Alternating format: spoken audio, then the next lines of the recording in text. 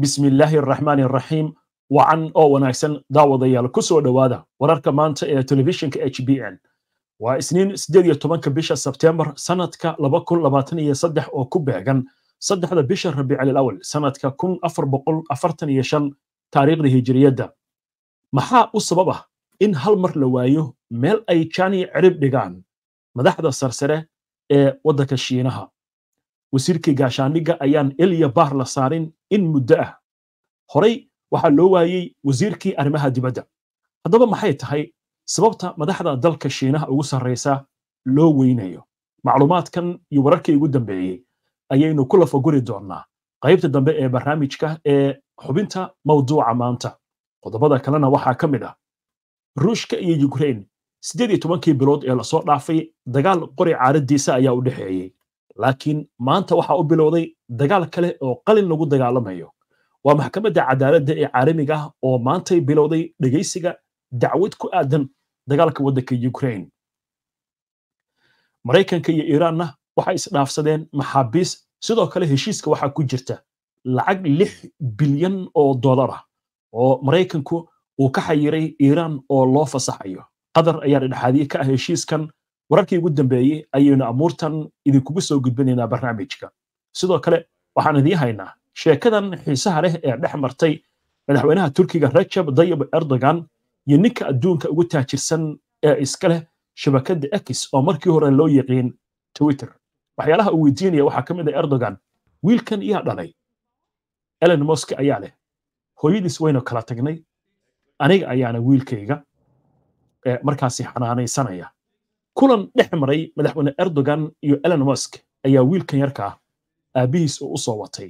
Sheekada arrintan ku dugan barnaamijka ayaan sidoo kale idinkugu faahfaahin doonaa waa imaara luxury homes limited. Halkii aad dhegaysiyo hoygaad u baahnayd haddaan kuu hayaayo waa himiladaade ku soo hiro imaara luxury homes limited. Anigoon waxba hayn intaad haybin lahayd. Haddaba kaalay hoy ka carbuuno. Imaara luxury homes limited hoygaaga quruxda leh halka aad ka helaysaa waa nairobi. Ee ha ka maqnaan imaara luxury homes limited. Halkudhigga imaara luxury homes limited. Waa hoygu waa muhiime hanti yeelo. Xafiisku waxaa ku yaallaa lenana road hillingam nairobi kenya. Kala xiriir telefoonada shaashadda kaaga muuqda soo dhowaada daawadayaal mar kale waxaynu ku bilaabaynaa ruushka iyo yukrain labadan waddan dagaal culus ayaa u dhexeeyey iyo tobankii bilood ee la soo dhaafay. Noocyada kala duwan ee hubka la isku adeegsanayay laakiin maanta dagaal kale ayaa u bilowday. Waa qalinka oo lagu kala baxayo. Maxkamadda caalamiga ah ee cadaaladda ayaa maantay bilowday garnaqsiga dacwadeed ee u dhexeeya ruushka iyo yukrain kaasi oo ku salaysan sharcinimada duulaanka ruushka uu ku soo qaaday dalka yukrain yukrain ayaa ku doodaysa inaanu jirin qiil ruushka uu haysto inuu ku soo weeraro dalkeeda. Waxa ayna ka soo horjeedaa sheegashada mooska ee ah in duulaankeeda uu ku salaysan yahay ka hortagga xasuuq lagula kici karo dadka asal ahaan ka soo jeeda ruushka ee ku nool bariga yukrain dhegaysiga maxkamadda caalamiga ee cadaaladda waxaa yukrain ku taageeraya laba iyo soddon waddan laakiin iyagoo go'aanka ma leh oo xeer beegtida maxkamadda ayaa go'aamin doonta amuurtaasi. Kiyef ayaa kiiskan bilowday waxa yar un kadib markii ruushka uu weeraray yukrain bishii februari sannadkii iyadoo ku doodaysa in weerarkan uu salka ku hayo sheegashada beenta ah ee falka xasuuqa ee ka dhaci kara gobollada lohanski iyo donetski ee bariga yukrain waxayna ku eedaysay moscow inay qorshaynaysay falal xasuuq ah oo ka dhaca dalka yukrain dhegaysiga toddobaadkan ayaa la filaya in qareennada ruushku ay ku doodaan in maxkamaddu aysan u lahaynba awood ay ku dhegaysato dacwaddan halka yukrain ay ku doodayso inay awood u leedahay oo ay maxkamadda go'aan ka gaari karto dacwaddan. Haddaba maxaa saldhig u ah doodda dacwadda? Khubrada waxay leeyihiin yukrain waxay ku doodaysaa in ruushku uu ku soo xadgudbay waddankeeda islamarkaasna uu ka geystay khasaare naf iyo maal iskugu jira haddii markaasi ay ku guulaysatay yukrain dooddeeda maxkamaddu waxay xukmi kartaa in ruushka uu magdhow siiyo yukrain wax walba oo soo gaaray naf iyo maal wixii dhacay siddeed iyo tobankaas bilood ee dagaalka uu socday. Laakiin moscow arrintaasi waa ay ka horjeedaa waxay taagan tahay maxkamaddu sharciyan uma leh awood inay amuurtaasi qaado marka qaanuunka ayaa la eegayaa kaasi oo ku salaysan maxkamaddu xaq ma u leedahay inay dacwaddan gasho haddiise ay gasho maxaa ka soo bixi kara? Iminka ayay bilaabatay dacwaddu isha ayaynu ku hayn doonnaa wixii warara ka soo kordhana barnaamijyadeena dambe ayaynu idinkula socodsiin doonnaa. Iiraan iyo maraykanka ayaa isweydaarsaday maxaabiis la kala haystay. Ilaa iyo shan qof oo haysta dhalashada maraykanka oo reer iiraan ah oo iiraan ku xirnaa muddooyinkii la soo dhaafay ayaa lagu guulaystay in la soo daayo. Waxaana la sheegay in dalka qatar loo soo dhoofiyey dowladda qatar ayaa dhexaadisay amuurtan ama heshiiskan. Sidoo kale maraykanka ayaa magaalada tehraan ka dejiyey shan qof oo reer iiraan ah oo maraykanka u hayay kuwaasi oo qaarkood lagu eedeynayay inay xadgudub ka sameeyeen barnaamijka cunaqabataynta maraykanku ku soo rigay iiraan. Kuwo kale ayaa waxaa lagu eedeynayay inay la shaqaynayeen dowladda iiraan gaar ahaan militariga iyo sirdoonka iiraan sidoo kale heshiiskan waxay ku bedelatay in lix bilyan oo lacag ah oo kaga xayirnayd kuuriyada koonfureed loo soo fasaxo. Lacagtaas waxaa la sheegay maanta inay ku soo dhacday akoon bangi oo ku yaal dalka qatar. Kadibna halkaas waxaa la sheegay iiraan inay awood ugu heli doonto in lacagta halkaasi ay ka qaadato. Shuruudaha maraykanka uu ku xiray ayaa waxa ay tahay in lacagtaas iiraan aysan u isticmaali karin. Sida hadalka loo dhigay arrimo military iyo inay markaasi saanad iyo ku iibsato laakiin waxaa la sheegay inay ku samayn karto arrimaha bini'aadantinimada. Inkastoo iiraan ay aqbashay in lacagtaasi qadar loogu soo gudbiyo kadibna halkaasi ay kala baxdo. Haddana waxaa la leeyahay iiraan qodobada heshiiskaasi qaarkood kuma qanacsana sidoo kale waddanka maraykanka gudihiisa siyaasiyiinta mayalka adag ayaa u arka in joe biden uu isku dhiibayo iiraan kadib markii uu aqbalay shuruudo badan oo iiraan ay soo jeedisay. Tani waxay ku soo aadaysaa iyadoo dhinaca kale ay cirka isku shareerayso xiisadda ku salaysan barnaamijka nukleerka ee iiraan kaasi oo la leeyahay hay'adda qaramada midoobay ee xakamaynta hubka. Waxay walaac ka qabtaa mamnuucidda iiraan ay mamnuucday in waddankeeda ay yimaadaan kormeerayaal ka socda dalalka maraykanka faransiiska jarmalka iyo weliba ingiriiska iyadoo ku doodaysa in kormeerayaashan aysan ahayn kuwa la aamini karo. Waa hagaag. Intaanan u gudbin xubinta ugu dambaysa ee barnaamijka ee mawduuca maanta. Aynu eegno sheeko xiise leh oo ku saabsan kulankii dhex maray madaxweynaha turkiga rajab dayib erdogan iyo elon musk ninka adduunka ugu taajirsan mulkiilaha shabakadda x oo markii hore loo yaqiin twitter. Kulanka waxa uu ka dhacay guriga turkiga ee ku yaal magaalada new york halkaas oo madaxweyne erdogan uu kaga qaybgeli doono shirweynaha toddobaatan iyo sideedaad ee golaha loo dhan yahay ee qaramada midoobay. Labada nin waxaa la sheegay inay ka wada hadlayaan arrimo kala duwan. Laakiin sheekada xiisaha leh ee barnaamijka aan ugu talagalin inaan idin wadaagna waxay tahay qisada ku saabsan wiilkan yarka ah ee uu kor u sido elon musk mulkiilaha shabakadda x ama twitter. Waxaa la sheegay wiilkan inuu yahay wiilka uu dhalay elon musk. Kadibna madaxweyne erdogan ayaa wuxuu leeyahay dabcan waa madax kulmaysa. Marka in ilmaha loo soo wato kulan madax aad la kulmaysid ismarkaas arrimo waaweyn laga hadlayo inaad ilmo yar dhabarka soo saarato shirka ka soo qayb geliso erdogan waxay la noqotay wax la yaab leh. Markaas wuxuu leeyahay wiilkan hooyadiis aawa. Elon musk oo qoslaya madaxan xoqonaya ayaa waxa uu yidhi hooyadiis waxay joogtaa san francisco magaalada san francisco ee waddanka maraykanka kadibna wuxuu sii raacinaya waynu kala tagnay hooyadiis. Marka waxay noqotay anigu inaan xanaanaysto cunugayga. Erdogan intaas ayuu ku ekeeyey sheekadii markuu arkay arrintu inay soo gashay xanaano ilmaha la xanaanaynayo in loo soo wato shir. Halkaas ayuu hadalkii ku soo koobay. Warbaahinta waddanka turkiga iyo elon musk qudhooda waxay sheegeen in arrimo kala duwan laga wada hadlay. Labada ninna isla qaada dhigeen sidii waddanka turkiga iyo elon musk shirkadihiisu ay xiriir u yeelan lahaayeen gaar ahaan in elon musk uu ka sameeyo dalka turkiga. Shirkadda labaad ee gawaarida ku shaqeeya cadceedda ee tasla la yiraahdo ee ninkan iska leeyahay in laga hirgeliyo waddanka turkiga. Shirkaddan hal yurub oo dhan shirkaddan waxay ku leedahay hal xarun. Waxaa la sheegay markaa erdogan inuu soo jeediyey in dalka turkiga laga dhiso warshadan farsamaysa gawaarida cadceedda ku shaqeeya ee la tesla. Waxaa la sheegay elon musk inuu aqbalay arrintaasi. Sidoo kale arrimaha laga wada hadlay waxaa ka mid ahaa nidaamka hawada gaar ahaan shirkaddan uu iska leeyahay ninkan ee la space x taasi oo la sheegay in ay iska kaashan doonaan dalka turkiga arrimaha cirbixiyaannimada iyo weliba dhanka safarada hawada. Elon musk ayaa waxaa la sheegay arrintaasi inuu aad ugu qancay bartiisa twitterka ayuu soo dhigay goor dhaweyto in wiilkiisa oo li x la yidhaahdo inuu ka qayb galay kulankii dhex maray isaga iyo madaxweyne erdogan waxayna noqotay sheeko ka mid ah sheekooyinka loogu hadalhaynta badan yahay baraha bulshada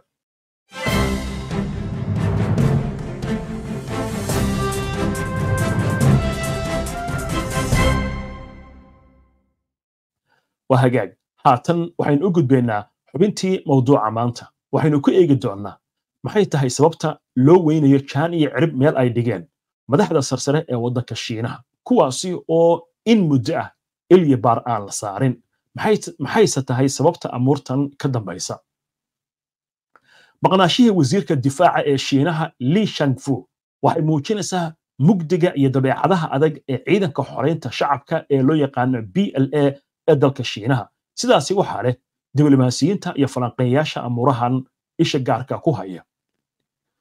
Waxay ku soo aadaysaa in la waayo li shangfu iyadoo horey loo weysanaa wasiirkii hore ee arrimaha dibadda ee dalka shiinaha king gangi kaasi oo in muddo ah la weysanaa waa tan iyo bishii juulaay laakiin mar dambe ay soo baxday in xilka laga qaaday ninkaasi oo la bedelay iminka wasiirka gaashaandhig waxaa ugu dambaysay in lagu arko meel fagaaro ah bishii agost sagaal iyo labaatankeedii markaas oo uu ka qayb gelayay shirka shiinaha iyo afrika ee nabadda iyo ammaanka oo ka dhacay magaalada beijing. Waxaa soo baxaya warar sheegaya in lii uu ku socdo baaritaan ku saabsan musuq maasuq lagu soo iibinaya qalab militari intii lagu jiray maduxreedkiisii hore. Sideed sarkaal oo kale oo sarsare ayaa sidoo kale waxaa la sheegay in baaritaan lagu hayo haddaba awoodda lii shangfu nidaamka ciidamada ee waddanka shiinaha uu ku leeyahay maxay tahay? Nidaamka shiinaha wasiirka difaaca qaranka waxaa loo arkaa inuu aad uga awood yar yahay marka la barbar dhigo xogayaha difaaca ee maraykanka iyo madax kale oo ay isku heer darajo yihiin. Jagadan qaanuunka shiinaha asal ahaan waa door diblomaasiyadeed iyo xafiladeed oo aan lahayn amar toos ah oo ciidamada uu siin karo. Si kastaba ha ahaatee lii wuxuu ka mid yahay lixda sarkaal ee militariga ee hoos yimaada taliyaha guud iyo madaxweyne shishi bin oo ka tirsan guddiga dhexe ee militariga ee loo yaqaan c m c. Lii oo ah injineer nidaamka hawada sare wuxuu ka soo shaqeeyey barnaamijka dayax gacmeedka ee shiinaha. Lii ayaa loo arkayay inuu yahay farsamayaqaan ka caawiyey shiinaha hirgelinta aragtida casriyeenta ah ee madaxweyne shi ee ciidamada xoraynta shacabka ama b l a. Sida ay qabaan saraakiisha ciidamada iyo falaqeeyaashu haddaba sidee u shaqeeya nidaamka ciidamada ee dalka shiinaha? Ciidanka shacabka shiinaha ama b l a waa garabka hubaysan ee xisbiga shuuciga ah ee talada haya. Sida laga soo xigtay warbixin sannadeedkii waaxda gaashaandhigga ee maraykanka ee batigonka ee ka hadlaysay ciidamada shiinaha. Waxay xusaysaa ciidankani ma ahan ciidan dowladeed. Waa sida hadalka u dhegayso maraykanka wasaaraddiisa gaashaandhigga. Laakiin waxay hoos yimaadaan maamulka tooska ah ee xisbiga shuuciga ah ee dalka shiinaha sida lii uu kor ugu soo kacay uuna ku yimid heerkan ama wasiirka difaaca waa hubinti inuu yahay nin la soo diyaariyey la soo hubiyey islamarkaasna la soo tijaabiyey si loo xaqiijiyo inuu daacad u yahay madaxweyne shiishi bin iyo weliba xisbiga shuuciga ciidanka b l a waxaa ka shaqeeya kaadiriin firfircoon oo ah saraakiil siyaasadeed kuwaasi oo garab taagan silsiladda taliska una xil saaran xaqiijinta daacadnimada midnimada iyo niyadda dadka shiinaha. Saraakiishuna ma maqlaan. Wax aan ka ahayn amarka ka soo baxa militariga shuuciga ah ee soo jireenka ah. Dhinaca kale c m c waa hay'adda ugu sarraysa ee go'aanka gaarista arrimaha ciidamada. Tan iyo markii uu noqday guddoomiyaha c m c madaxweyne shiishi bin wuxuu hergeliyey dib u habayn badan oo lagu dhimayo madax bannaanida ciidamada b l a wuxuuna si weyn u xoojiyey xakamaynta arrimaha militariga iyo sirta. Sida lagu sheegay warbixinta batigonka ee soo baxday nofembar taasi waxay ku daraysaa lakab dheer oo mugdi ah oo ka baxsan sirta militari ee caadiga ah sida laga soo xigtay khubarada. Ciidanka xoraynta shacabka ee shiinaha waa kan ugu ballaaran adduunka waxaana loo kordhiyey karti iyo casriyeen iyadoo la abuuray sannadihii u dambeeyey amro cusub oo ku salaysan nidaamka militariga mar kasta oo ay kororto awoodda ciidanka shiinaha militariga dalalka shisheeye waxay u haqaltaagaan inay wax badan ka ogaadaan sida ay u shaqeeyaan iyo weliba ujeedooyinkooda istiraatiijiyadda ee hoggaankooda. Dadaalada lagu xaqiijinayo dhanka militariga ilaa iyo dhanka diblomaasiyadda. Maqnaanshaha lii waxay walaac ku abuurtay qaar ka mid ah diblomaasiyiinta iyo falaqeeyayaasha militariga kuwaasi oo aaminsan inay ka dhalan karto. Waa si hadalka loo dhigay qalqal amni oo gudaha ah laakiin dadka la dhacsan siyaasadda xisbiga shuuciga ee shiinaha ayaa waxay sheegayaan in shiinuhu uu ka wen yahay hal qof. Maqnaanshihiisana aysan jirin saamayn uu ku yeelan karo ammaanka iyo siyaasadda guud ee dalka shiinaha. Mas'uuliyiinta difaaca ee waddanka maraykanka ayaa aad u doonayay inay soo celiyaan xiriir ay la yeeshaan dhiggooda waddanka shiinaha iyadoo ay jirto xiisadda gobolka oo kar u sii kacaysa. Lii waxay maraykanku u soo rogeen cunaqabatayn sannadkii labadii kun iyo siddeed iyo tobankii. Kadib markii hub uu ka soo iibsaday ruushka wuxuuna diiday wadahadal rasmi ah uu la yeesho xogayaha difaaca ee maraykanka lord austin bishii juun. Marka la eego qalalaasaha dhacay iyo maqnaanshaha lii waxaa isha lagu hayaa shirka amniga caalamiga ah ee lii lagu waday inuu martageliyo bisha oktoobar ee foodo inagu soo haysa. Haddii ay dhacdo in lii aanu ka soo muuqan shirka bisha oktoobar dhici doona ee dhanka diblomaasiyadda la aaminsan yahay inuu yahay kan ugu ballaaran ee awoodda difaaca shiinaha lagu muujinayo. Taasi waxay ka macno tahay in ninkan weli aanu xor ahayn oo baaritaan uu ku socdo. Markii ugu dambaysay ee madashan lagu qabtay goob la iskugu yimaado waxay ahayd sannadkii labadii kun iyo sagaal iyo tobankii in ka badan shan boqol iyo soddon saraakiisha difaaca iyo militariga iyo aqoon-yahano oo ay ku jiraan wasiirada difaaca labaatan iyo saddex dal ayaa ka soo qayb galay. Wasiirka gaashaandhigga ee shiinaha ayaa sida caadiga ah khudbadda muhiimka shirka ka jeediya wuxuuna la kulmaa wufuudda dhinacyada kala duwan ee shirka ka soo qaybgalaya dad badan oo arrimaha siyaasadda ka faallooda ayaa waxay leeyihiin in muddo dhowr bilood gudahooda la waayo laba wasiir oo muhiim ah oo ka tirsan mas'uuliyiinta waddanka shiinaha oo kale ah wasiirkii arrimaha dibadda king gang. Intii aan la bedelin bishii juulaay iyo wasiirkii gaashaandhigga lii shakfu oo haatan lala yahay waxaana leeyahay waxay muuqataa in su'aal ay ka taagan tahay hufnaanta dhanka siyaasadda ee waddanka shiinaha. Laakiin taa waxaa ku lamaansan qorshaha uu la yimid madaxweyne shi shinbin markii xukunka uu qabtay ee ku aadanaa la dagaalanka musuq maasuqa. Waxaana la leeyahay inkastoo madaxweyne shi shinbin uu soo jeediyey la dagaalanka musuq maasuqa. Haddana waxaa dhici karta in uu caburinayo ama meesha uu ka saarayo siyaasiyiinta uu aaminsan yahay inay ku noqon karaan caqabad barnaamijkiisa siyaasadeed iyo qorshaha uu leeyahay islamarkaasna isku taagi karaan ama ay noqon kartaba in amaradiisa ay madaxa ka taagaan. Taasi markaa waxaa la leeyahay madaxweyne shi shinbin waxay u muuqataa in la dagaalanka musuq maasuqa uu uga faa'iidaysanayo in uu ku cirib tiro dadka uu is leeyahay way kaa hor imaan karaan. Isha ayaynu ku haynaynaa wixii ka soo kordha arrimahan laakiin su'aalo badan ayaa ka taagan. Maqnaanshaha iyo in la waayo markiiba madax sare oo ka tirsan mas'uuliyiinta waddanka shiinaha. Intaas ayaan ku soo gabagabaynayaa barnaamijkii wararka maanta ee telefishinka h b n waad ku mahadsan tihiin daawashada barnaamijka.